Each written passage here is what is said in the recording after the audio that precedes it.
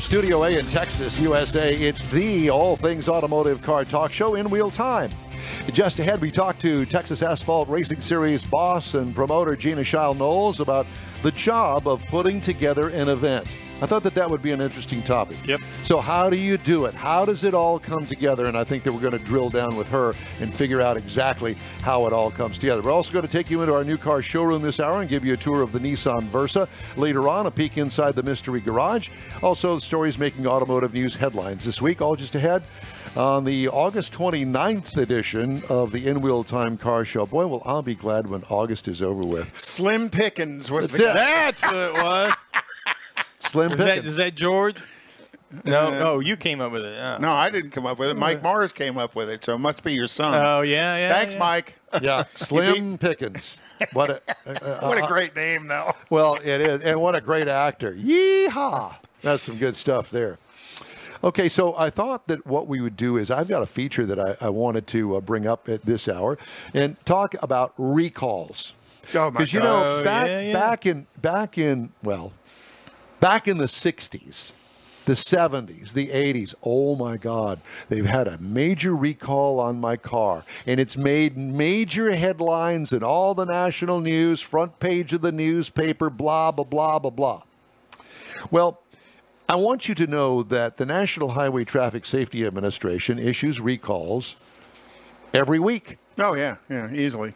And just to give you some idea as to what some of these recalls are, I thought, The- okay, I'm going to I'm going to print this out I'm going to show you. the importance of some of them and the, oh my gosh, what are they doing of So some of them? this is- this just happens to be a is it four pages? Yeah, four pages. Four pages of recalls. Okay, This week. So I'm just going to run through these real quick. Thought it'd be fun. Triumph motorcycles. Uh, a reflex reflector may detach. Uh, Nova bus. Loss of drive from fractured pressure switch. That could be bad. New Flyer America. These are manufacturers now. New Flyer America. Loss of drive from fractured pressure switch. Apparently, they bought from the same pressure switch company. American Hauler. Potential axle spindle weld failure. That could be ugly. Uh, Daimler Trucks North America. Engine harness may contact and chafe. Ford Motor Company. Power supply cable incorrectly attached to starter on a Ford F 150 Sounds like a thermal event to me. thermal event. Yeah, thermal event. Uh, Ford Motor Company front brake hoses could rupture Yeah, I- on the Ford Edge 2015 to 2018, Yeah, or the Lincoln MKX 2016 to 2018. Another Ford recall: rear coil springs may fracture on the Lincoln Corsair. This just gives you an idea. So the list goes on and on from all these different manufacturers. So if you get a recall okay, not necessarily good that you got a recall, meaning there there's some sort of an issue, a defect in material or workmanship. but you have to understand, car manufacturers they design and they assemble cars. They make very most of them make very little of the components. it's all vendor supplied. Correct. and the manufacturer specs what the vendor has to build.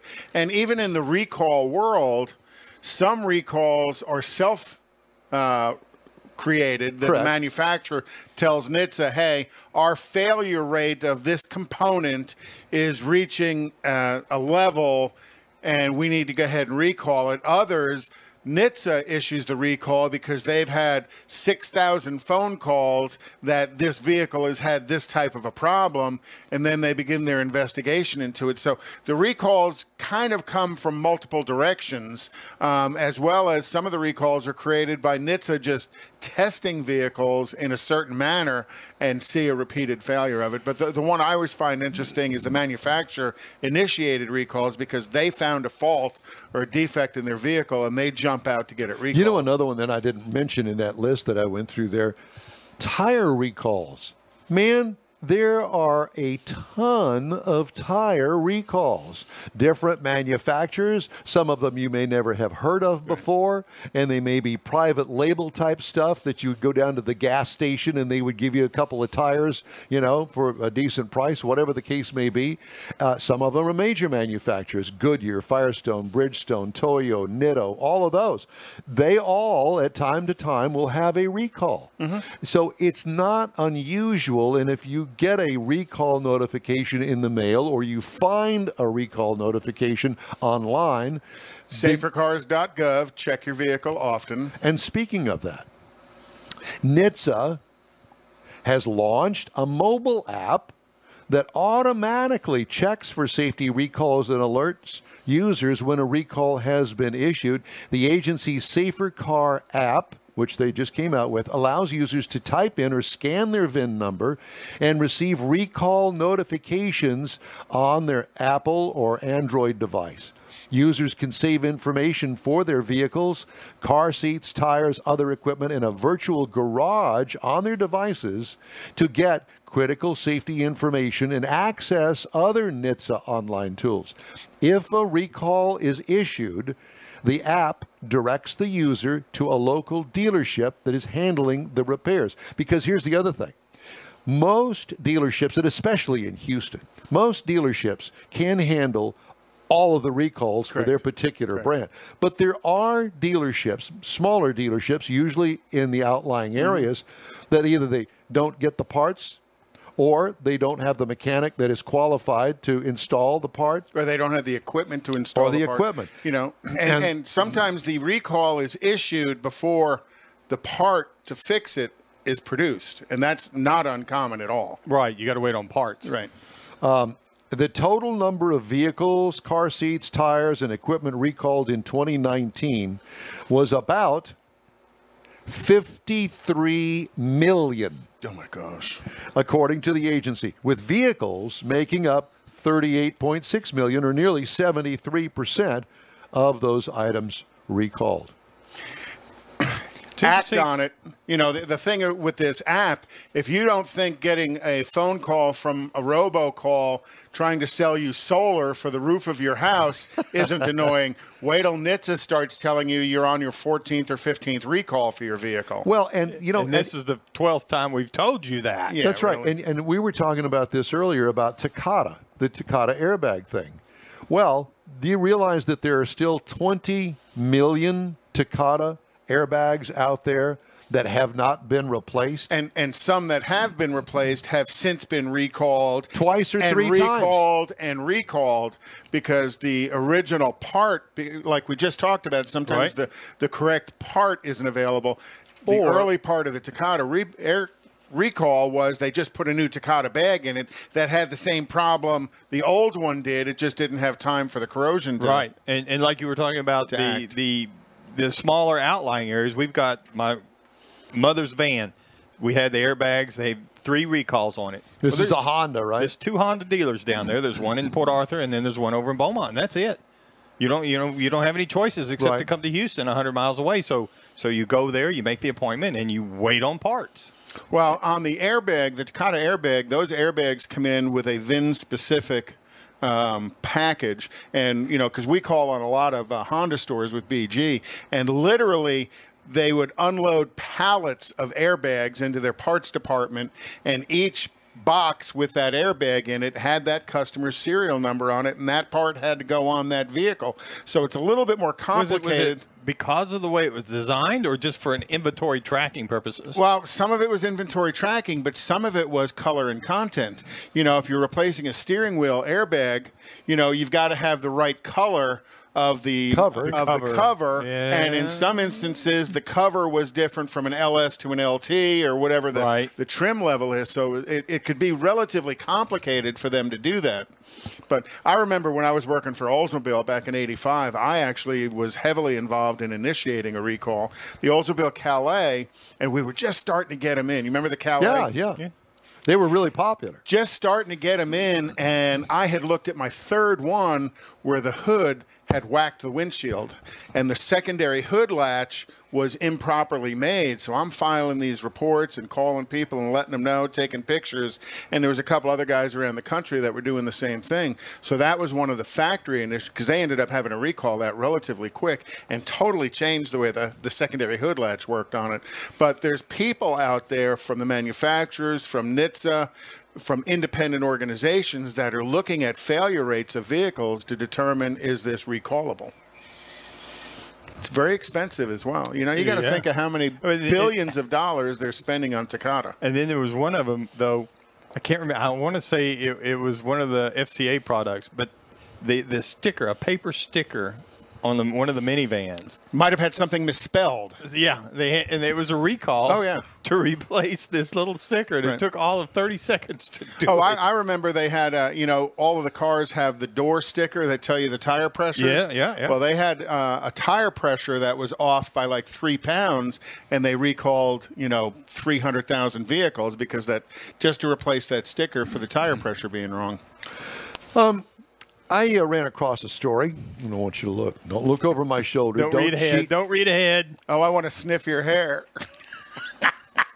We could call you Joe. Did he actually just say that? Yes, he did. I washed it and it smells really good. Thank you. I know it smells like cocoa butter. Oh, God. That's not cocoa butter. Jeff needs Zekin more just Jeff. said that's not cocoa butter. Oh, God. Once Well, we've again, now lost control. once again, the train has left the tracks. Um, Fell so, off them. so what would you think? I'll take a survey here. Jeff Zekin over there running the cameras, and Mr. Mars and, and, and Conrad. What would you think is one of the biggest hits with consumers on vehicle technology these days? What do you think is probably the biggest hit? I, I would say the um, uh, internet connectivity. Mars? I would think the the user interface, the the buttons and stuff. Well, you're both wrong. Ah, of course not. No, What about- not the key fob. Key fob. Drivers appreciate an extra set of eyes on the road, but they're giving the finger, quite literally, to another feature making its way into new vehicles. Those are the findings uh, from JD Power. A study measures how effective automakers are in bringing advanced technologies to market in ways that consumers find intuitive and not overbearing, like that auto start stop feature. Or the auto braking feature. Well, let's I, let me. I've had some people fuss about that. So, vehicle owners are most enamored with cameras, according to the Okay. company's 2020 U.S. Tech Experience Index. Luxury owners rate such features highest in five of the six satisfaction attributes I could see that. measured in the study. Easily. Yeah. Among advanced camera vision technologies is the in the mass market segment. Camera rear view mirrors receive the highest overall execution score, followed by transparent trailer view and ground view cameras. So you can see sitting in the driver's seat all around the vehicle and especially behind you. And I have to tell you, I use that rear view backup camera all the time. in the. Absolutely. Yep. And John Gray at Gulf Coast Auto Shield can install Install one on your vehicle if you don't have it. Uh, luxury owners disliked gesture controls. Gesture. Can, you can only imagine with this hand what you can tell your car. And apparently it can now read your hand. I haven't experienced that yet. Well, you know, I'm just. not the you mean gesture. as I haven't experienced the car reading the gesture. You mean as opposed to the guy dri- that just cut you off reading what your gesture was? I, I cannot wait for that technology to So does it- understand that particular gesture. So and it goes, oh, I'm sorry. The auto start stop feature will now be removed from the vehicle and you won't have to jack with it anymore. or it'll be like Siri. I don't have to take that. I'm not talking to you anymore. And it'll just shut you off, and you'll coast over onto the shoulder. so the question is, how would you know that, Mr. Mars? I Now you so better be I- careful I- because your preacher is listening. Just saying. and your mom is yeah, mom's watching today. Is she? That's what Conrad said. He's, Oh. He saw her up there. Uh, yeah, gesture controls um, uh, that let occupants control various interior features using hand gestures, if you can imagine such a thing, instead of touching a knob or a screen. I won't even go there. Among automakers and their brands, Volvo ranked highest in overall innovation, earning a 617 score out of a thousand point scale. Well, that's not a whole lot in my book, but No. whatever. BMW, Cadillac, Mercedes Benz, and Genesis followed in the luxury rankings. Hyundai ranked highest among mass market brands with a score of 556, followed by Subaru, Kia, Nissan, and Ram. Uh, the study, which was redesigned for this year, captured responses from 82,500 owners of 2020 model year vehicles surveyed after 90 days of ownership. So it seems like a legit thing. Uh, noting the wide variation in execution strategy across brands, the JD Power study found some drivers have positive experiences stemming from lower stress levels, while drivers using such systems, uh, while others found them annoying and distracting. And I know about that annoying thing. Well, one of our uh, listeners online, Brad Hill, uh, he was talking about the the automatic braking when you're in reverse. Yeah. Um, he really thinks that's almost a distraction over anything else. He tends to turn it it's off. It's actually it scares me because I'm looking, I see, yeah. I hear, I'm b- backing up, I got it all, and then all of a sudden the brakes get slammed on without me touching them. Mm-hmm. Yeah, it's frightening. And you spill your coffee. Uh, I don't usually drink coffee huh. in the car, but that would be something that you would. Oh yeah. yeah. Well, I spill my coffee anyhow, but that's beside the point. uh, you know, the In Wheel Time show streams live on Facebook.com slash In Wheel Time, on YouTube, and our website, InWheelTime.com. Podcasts available on Apple Podcasts, Spotify, Stitcher Radio, iHeart Podcast, Google Podcast, and Podcast Addict. Quick break now. And then we're going to have a car review. And that review is the Nissan Versa. Got a chance to drive it? I think you'll be interested in what I got to say about it. Stay tuned. Man, I love my kids so much. I once sat for three hours in the cold rain to watch her soccer team lose by 18 goals.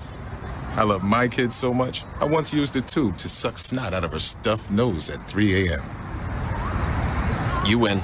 Love your kids? Love them enough to make sure they're in the right car seat. From toddlers to tweens, visit nhtsa.gov slash the right seat to find the right seat for their age and size. Keep them safe. Visit nhtsa.gov slash the right seat. Brought to you by the National Highway Traffic Safety Administration and the Ad Council. A social distancing tip. While the CDC urges you to avoid close contact, like hugging or shaking hands, there are other non physical ways to say hello.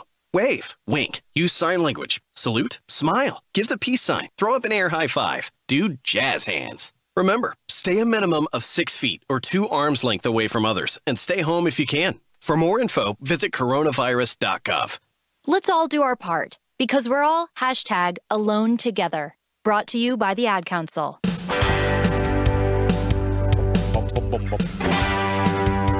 I'm sorry?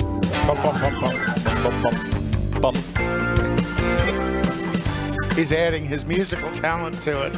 Along with the sign language. My, my contribution. The gesture recognition. The techno- gesture recognition. Yeah, because that's really all the huh? gestures just, that I need is just that one. It's the only one you use. you know, only, I don't really use that very much anymore. I don't use that anymore. Anymore. Oh, not any less. I think I invented anymore. it, didn't didn't I? Somebody gestured me the other day when I was coming over here. Well, that's uh, yeah. I, I, have gestured you a couple of times this week, but you why. couldn't see it. Just saying. If I saw you, I'd gesture you. yeah. Okay, time now for this. Uh, welcome back to the uh, In Wheel Time Car Show. Uh, thanks for joining us today. Time now for this hour's car review. Uh, had a chance to drive the 2020 Nissan Versa. Comes in uh, three different trim levels: the S, the SV, and the SR. I had the SR CVT. Uh, the base model of the Nissan Versa actually has an available five speed manual. And when I give you the price of it, it's going to be the five speed manual. A five speed manual still available. Yeah, that's hard to come by now. This is considered a compact sedan, seats five passengers. Now, this one that you're looking at there, that's the gussied up one, and it looks pretty darn good if you ask me. Exterior changes from last model year, well, it's all new for 2020, and it looks good. Uh, exterior features longer, lower, and wider in every way. Looks a lot like the Altima, to be honest with you, uh, and actually has a modern aero front fascia that looks really good, not overpowering the front end, I think. Our tester had a trunk lid mounted spoiler. What I liked about it overall, uh, the overall look competes with the best in class mm. and wins, I think. The, tell me. You know, it's a good looking car. I, I think it is too for a compact. And when, when I tell you entry the level compact, when I tell you the price, you're going to go what? What could use improvement? Nothing in my estimation. Interior, the highlights include great modern design elements with available contrasting colors, and that particular picture right there shows you the contrasting colors. Mine didn't have that, but if that's what you like. But you really like the interior. I, I remember did. when you had it for that price point. You Yes, loved the interior. Easy to use infotainment system. Uh, it actually had some backseat legroom. Now, remember, this is a compact, and that can be tight back there. Yeah, you do have to move up the front passenger seat and the driver's seat to let the persons behind you get some legroom. But that's the it's a compact. It is. It is okay. compact. So keep that in mind. Also, the trunk. It's got more room than you would think, uh, but it is a small car. What I liked about it, I liked pretty much all of it. What could use improvement? Uh, would have liked a more adjustable lumbar. I had to find something to fill in the blank, and that's what I came up with. Now, as far as engines are concerned, well, it comes with a 1.6 liter inline four cylinder, naturally aspirated, no turbo, 122 horsepower. You might not think that's very much. Well, it's not. Torque only 114 pound feet. But it has a CVT transmission, and that's how they get by with that little bit of a horsepower. Because it keeps it right in the torque peak as the CVT all the time. yeah. accelerates. And here's the bonus for that: miles per gallon in the city, 32. Miles per gallon on the highway, 40. wow. For a combined of 35, I got 37.9 miles per gallon over 305.5 miles. what I liked that's pretty about awesome. what I liked about it, hello, gas mileage, Exactly. and I like the look of it. I really like this car. Uh, ride and handling, great, compliant ride. It is not a sports car, doesn't pretend to be a sports car. So if that's what you're looking for, then you don't want this car. You want a sports car. This is an all around cool little sedan at the entry level. What could use improvement on the handling? Nothing. It's an all purpose road car for all. You want a commuter car. You drive a lot. You grow, go from Sugar Land to downtown Houston, or you go from Sugar Land to Hobby Airport 30 miles a day one way. Hey, maybe this is for you because it'll certainly do 75, 80 miles an hour like the rest of the South Sam So you Houston. can keep- you're not going to get run over necessarily. And you're not going to have range anxiety from an electric car. Don't even start with me. base trim price. Base trim price. Fourteen thousand eight hundred and thirty dollars. What? But get this. That- That is about two thousand dollars more than last year's model. But it's longer, lower, wider, Prettier. prettier, It's got more that. going for it. The standard uh, content of the car has upped the ante, so you get a lot more car for the money, but it's still Fourteen thousand. fourteen thousand eight hundred thirty dollars. Price is tested twenty one four ninety, but I got the loaded up one. Base model price. Model price. Remember, I had the uh, eighteen two forty. So for under twenty thousand dollars, sticker, and you know you can get a little wiggle room in that. Uh, you can get yourself a pretty decent car. So you're looking for a college car for a kid. Great car. Yeah. So, in comparison, its competitors Toyota Yaris, 15650, Hyundai Accent, 15295, and those are really the only two competitors. There aren't any more. See, and I'm surprised Hyundai is that much pricier at that point because generally Hyundai was always underpricing everybody. So that's that's pretty amazing that uh, Nissan brought that price down that low. Well, I thought it was a pretty good car. So take that. Well, I, I remember you bragging about how much you love the interior in that thing. I did because it worked well. It was it was cloth. it was cloth. Yeah, he likes cloth. I do like cloth But interiors. now, but the one you had had the CVT. But didn't you say you could get a manual? Yes, yeah, five get a speed five speed manual is the base, base, base model That's price. the 14.8 car. I'll take Okay. that. I'll take that. Yeah. Because to be honest with you, I, Nobody's I gonna think that it. personally, I would rather I would rather have the manual than the CVT, but that's just me. That's my driving style. Right. I want to And shift. particularly gears. with the way you drive it out on the highway, because you don't actually shift have to do that much. I mean, you go through the gears to get where you're going, but it's not like it's constant. yeah. So I guess that, Interesting. I guess that's all. Cool.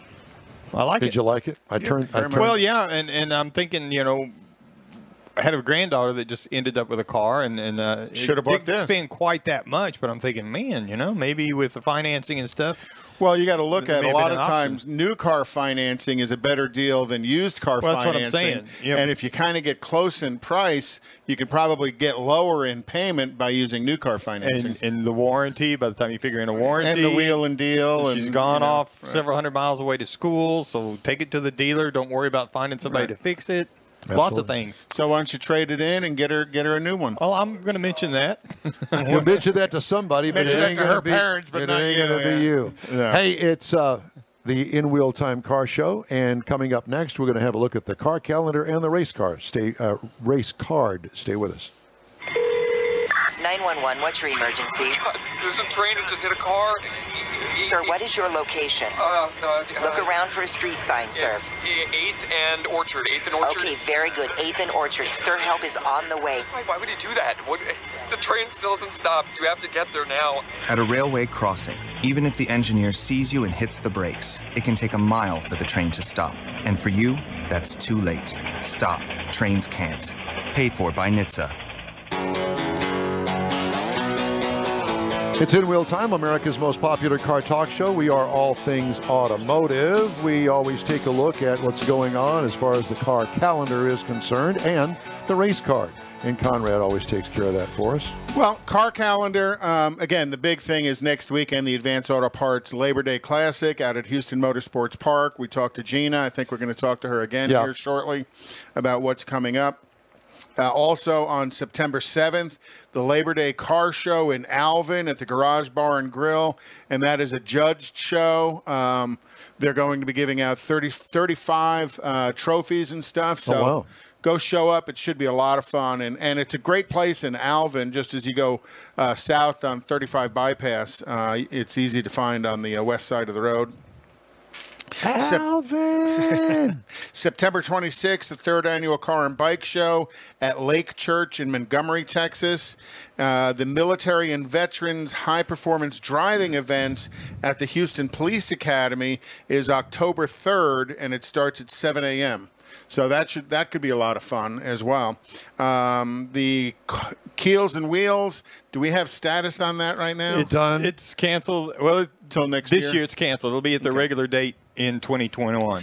Uh, on October 17th, the April Sound Show and Shine up in Lake Conroe at the April Sound Country Club.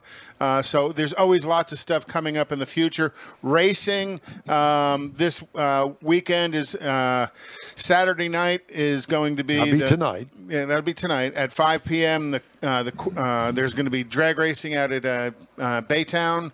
Uh, Fri- every Friday night there's drag racing at Houston Motorsports Park. Also on Sundays there's drag racing at Houston Motorsports Park or the Eighth Mile stuff, uh, and then test and tune. On, it's test and tune on Sunday. Uh, the area dirt tracks, the Cotton Bowl Speedway, uh, they're going to have racing tonight at 7 p.m. and that's the one in Paige, Texas. Uh, 105 uh, Speedway in Cleveland. They're going to be having racing tonight. Gulf Coast Speedway is off this weekend, and the Texana Speedway in Edna is going to be off this weekend. Gateway uh, Indy is tonight at. Uh, uh, What's Gateway? Gateway is St. Louis. Oh. Formula One Belgian Grand Prix is tomorrow. Uh, Daytona is tonight. They're doing the night race at Daytona for NASCAR, so that'll be under the Are they going to use the road course? Or the, No, no, no. It's going to be the the round, the the two and a half mile round course. So, in other words, I can go to sleep extra early until the very last couple of le- leg, uh, legs of the race, and then and watch the replays. yeah, Uh, IMSA is back on the 4th at Road Atlanta. NHRA is going to be, of course, Labor Day weekend is the big go uh, at Indianapolis. And uh, we're going to be cheering our friend of the show, uh, Erica Enders, as well. Thank you, sir. Hey, uh, if you're a member of a car, truck, or Jeep club, you can put your group in our in wheel time car club spotlight. Just email us the club's information and contact name and number, and we'll take it from there. The email address is info at inwheeltime.com. We're back with Gina Child Knowles and how a short track race actually comes together from a promoter stand. You know, she kind of orchestrates that whole thing. Who's going to race when and where, and how t- what time the gates open, what time everybody has to get there. All of She's the dance coordinator. Well, and, and she's the good. cat herder. I mean, I think she would go for dance coordinator. Well, okay. I don't know if Gina's a cat lady or not, but I'll we'll go with the dance coordinator. She's- Dancing with the with the child. She's coming up next.